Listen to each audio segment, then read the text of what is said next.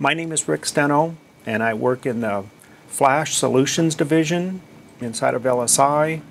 And my presentation is on the LSI Flash-based storage solutions to accelerate databases. And today we'll be going over LSI technologies, database performance pain points, Flash and intelligent caching, and LSI's predictor software. So what are the database performance pain points? Some of them can be meeting performance SLAs with constant data growth. Most databases are I.O. bound. Disk storage performance is like performance gains in other areas like CPU and in network. Flash is expensive per gigabyte. Storage systems develop data hotspots over time and DBAs don't have the time to constantly tune to get rid of or eliminate those data hotspots.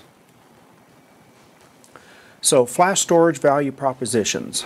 Regardless of your storage architecture, any block device like a SAN or a DAS, flash-based technologies can accelerate your database deployments. This presentation will highlight easy to implement PCIe flash architectures that can dramatically improve your database performance with a lower total cost of ownership. These solutions are quite simple to implement into your existing system with little or no DBA involvement or database changes. These solutions will help alleviate some of the database performance pain points. So the various types of Flash for database applications.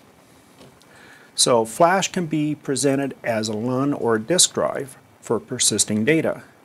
This is the fastest and the most reliable way to implement Flash. Flash device can also be a cache device which is transparent to the operating system, to the database, and mostly to the DBA. So why use flash in a database environment? So different parts of the hardware, you have different latencies. For example, main memory latency is measured in nanoseconds, where hard disk drives are measured in microseconds or milliseconds. A flash device is measured in microseconds. So what are some of the current design inefficiencies? If a server has a lot of memory, you have a lot of CPUs to support that memory, which require a lot more software licenses. Also, you might have hundreds of spinning hard disks that to support your high level of IOPS or megabytes per second. And some of the flash benefits are big performance gains with current or the same amount of CPUs and possibly a reduction of CPUs. We've also seen up to 50x performance gains or reduced read latencies by going to a PCIe flash device. And the PCIe flash device requires low power consumption. So three ways to implement PCIe flash devices in a database environment. You can use all flash, no hard disk. You can use flash as a cache device to implement intelligent caching in front of a SAN. Or you can do intelligent caching in front of direct attached storage. So what are the benefits of an all-flash implementation?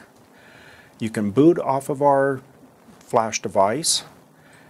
There's low host RAM usage.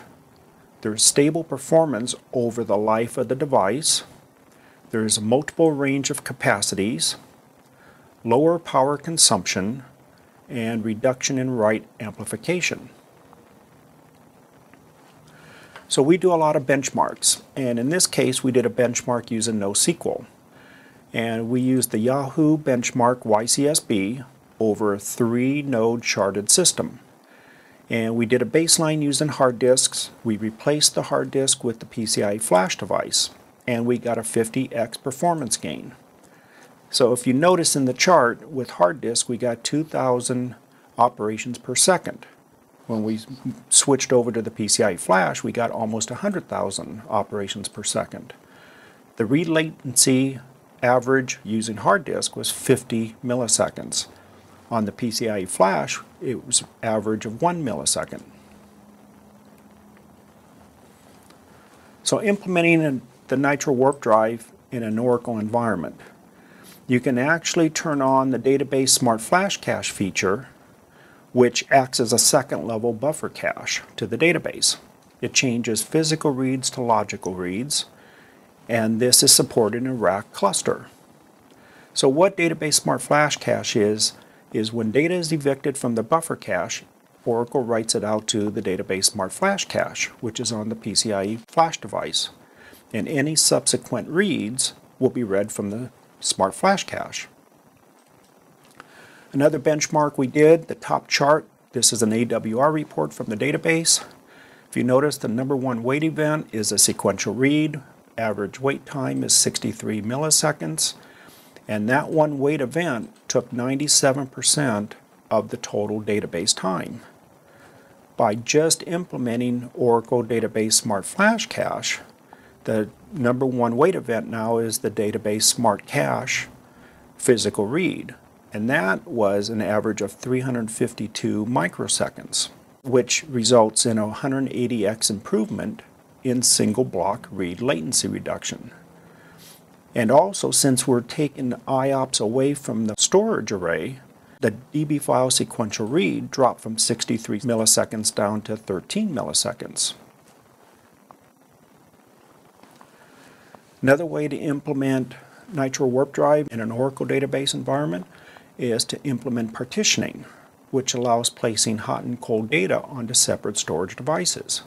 You place all the hot data on a PCIe card all the cold data on spinning disks. And in some of the later releases of Oracle, Oracle is providing tools to automate this migration from flash to spinning disk as the data cools. So multiple ways to deploy a PCIe flash cache into the database environment. You can create multiple LUNs and use each LUN for a specific purpose, and then assign those LUNs to individual databases.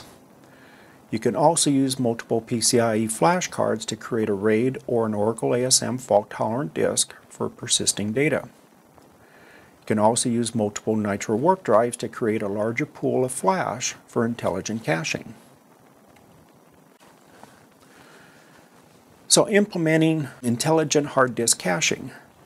You, we use a flash device as the cache device which is very cheap to generate a large amount of IOPS and megabytes per second, where a hard disk is very expensive at providing a large amount of IOPS and megabytes per second, but very cheap at capacity. So in Intelligent SAN caching, we use the LSI Nytro WarpDrive as the cache device. We have host-based software that looks at all the data activity on that LUN and we determine if that data is hot or not. And if we determine it's hot, we copy that data to the cache device. Any subsequent read will be read from the cache device. So a benchmark we did for VMworld last year, we had a VM client machine and we had a MySQL that's running at the top and a SQL server running at the bottom on one client with hard disk and our intelligent caching on the left. And on the right, we're just using hard disks, same database setup. MySQL, we got a 35x gain in performance, and in SQL Server, we got 121x performance gain. So intelligent caching using Nytro MegaRAID. This is intelligent caching in front of direct attached storage. In an Oracle benchmark, we got a 9x performance gains by just implementing the intelligent caching in front of DAS. No DBA involvement and no database changes. So some of the Nytro MegaRAID benefits are we provide many capabilities for the DBA to deploy flash. You can use all the flash for intelligent caching. You can use multiple Nytro MegaRAID cards to meet flash capacity requirements. You can use part of the flash for intelligent caching, or you can use part of the flash for persisting data, or you can use part of the flash for a system boot drive.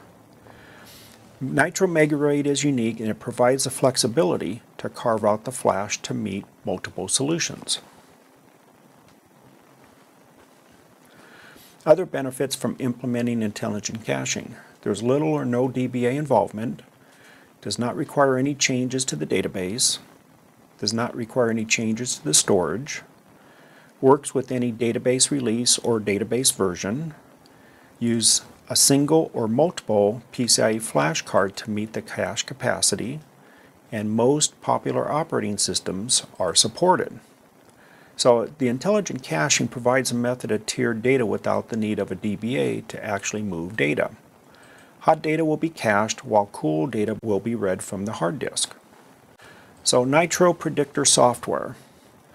So when we work with customers, we ask DBAs what's the read-write split, how much hot data do they have, and what type of database activity and a lot of them don't know. So we wrote a tool that goes out and runs alongside the database while the application is running.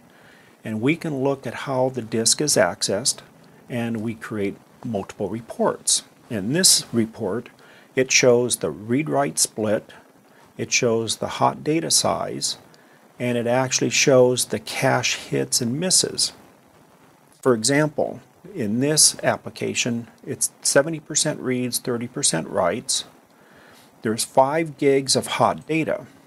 So we don't know if it's a terabyte data or 500 gigs worth of data, but it's 5 gigs of hot data. And also on the left, if you notice, we look at the data and we determine how much time will it take for that data to become cached. And in this case, about 500 to 600 seconds is when we get pretty good uh, cache hit rate on the data. So any subsequent reads will be filled from the cache. So in summary, Flash can dramatically accelerate databases. We have big performance gains and large latency reductions, sometimes thousands of percent improvement. Be sure to match needs and capabilities at least three options exist to accelerate databases. An all-flash implementation, intelligent SAN caching, and intelligent direct attach caching. Thank you for watching this webcast. If you have any questions, here's my email address. We also have quite a few documents out there using our technologies in the database area. It's on the smarterwaytofaster.com website. Thanks again.